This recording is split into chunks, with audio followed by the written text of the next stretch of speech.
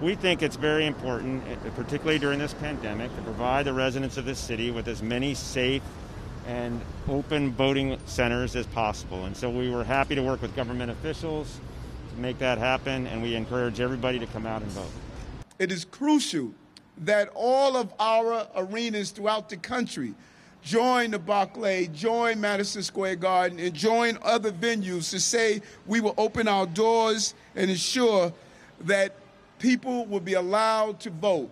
This space is being transformed from a place where peaceful protests took place to a place where peaceful voting will continue. So it's critical that we come out. It's critical we come out here just the same way we come out to see Beyonce or Janet Jackson.